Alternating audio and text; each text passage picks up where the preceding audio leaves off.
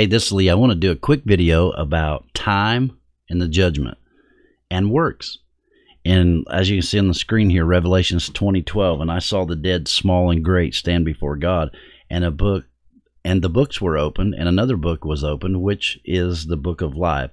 And the dead were judged out of those things which were written in the books. Notice an S here, books, according to their what? To their works. So when people say that works won't get you there, no, it won't get you to heaven, but works are going to be a part of what we're judged by. So let me give you an analogy. When I was a kid, I had done something wrong. I can't remember exactly what it was, but I had to write sentences. I will not. And this was on a Thursday, and I didn't do them. Stubborn. And they said, okay. Uh, I got that as on a Friday, and he said, okay, on Monday you have to have these in. You're getting three whacks from the principal. so I went home, and Friday night I played. Saturday I played all day. Sunday was church day, two two times. Sunday morning, Sunday night. Very little time in between. Monday morning I got up knowing that I did not write these sentences, and that I was going to get a whack. So they called me, asked me for the sentences, didn't have them. Took me to the office. The principal said, "Did you do them?" And I said, "Yeah, I did them." And uh, he said, "You can call your mom." Mm, maybe she'll bring him because I used the excuse I didn't bring him to school with me, all along knowing that I didn't do them. So my mom tears the house apart. She comes over to the school finally and pulls up, and I would go out to the van. Now, remember, I knew I didn't do these sentences. And I go out, and with a pitiful face, I say, Where's the sentences?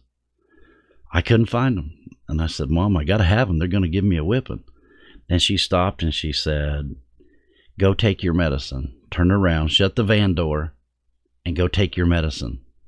You didn't do those sentences. And I whined and cried, and tears were coming down. I was in like third grade. And I shut the door and took the long walk of shame back up the walk to Eastwood School into the office. And I said, She couldn't find them. I don't know what happened. Well, I was still not admitting that I hadn't done it. He said, Okay, you're going to get three wags grabbed the desk. I leaned over and grabbed the desk, and he, three times, he blistered my back pockets. And I went to class with tears running on my face. People knew I got a whack for not doing what I was supposed to. And all along, I'm still playing this game like I did it. And I got home, and my mom told me, when I get home, you're going to get in trouble too. So I went home and I sat at the kitchen table, and I said, she said, Did you actually do those sentences? And I hem hauled around and finally, you know, I said, no, I didn't do them. So she said, just go upstairs until supper.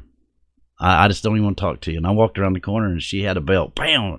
She hit me in the tail end. So my backside got a lot of punishment that day.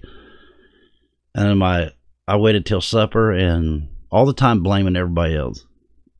And my dad come home that evening for supper and he said, I come down to the kitchen table and he said, did you do those sentences?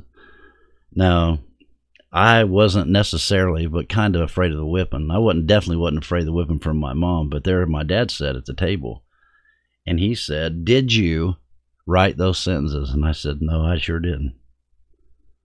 He said, "I'm not going to whip you because you sound like you've had enough for today." And this is what it's like in the judgment. We're going to put off day to day to day. We're not going to read. We're not going to share the gospel. People are not going to go to church. They're not going to do the things that they were supposed to do. And we're going to play every day like there's just there's always a tomorrow and there's no promise of tomorrow.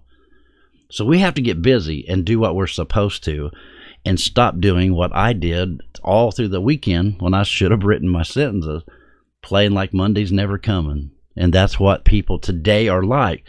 We're living every day as if Monday's not coming. Now look at me in the camera. Monday is coming. And right here in Revelations 20:12, I saw the dead, small and great, stand before God. The books were opened, and another book was opened, which is the book of life, and the dead were judged out of those things which were in the books, according to their works. Monday is coming for you. Are you really living up to your potential? Are you living what God's expecting of you? Are you doing what you're supposed to as a Christian? Because Monday's coming. and it's going to be too late. There's no time to run and write the sentences at the last thing or to do a few good works at the last moment, to stand before Jesus and give an account for a lifetime of laziness.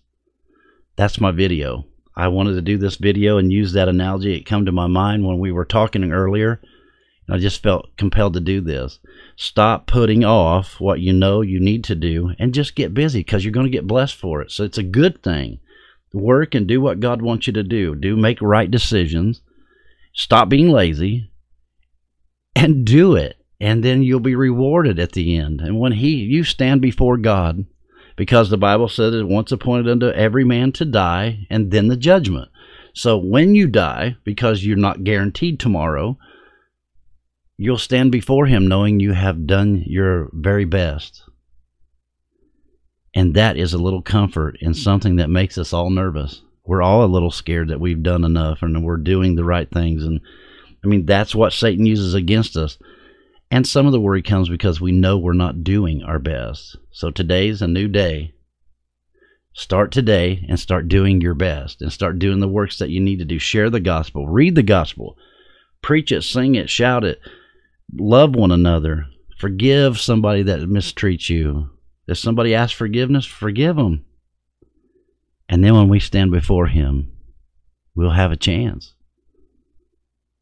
And that weight won't be so heavy on us because we'll be so happy, busy working that we won't think about not working because you only worry about it when you're not doing the right thing. I love you with all my heart. Like and subscribe. Stop back. Do more. Christmas is coming up, and I want to. I'm going to do a video for Christmas, Lord willing. Uh, pray for us here. We're praying for you. And remember, we love you with all of our hearts, no matter who you are in the world, where you're at, what your background, what you've done. It doesn't matter. We love you. And we are praying that you will find your way to God if you haven't yet. And if you have, we're praying that you have strength and courage to do what you know you need to. We love you. We'll be back soon. Bye.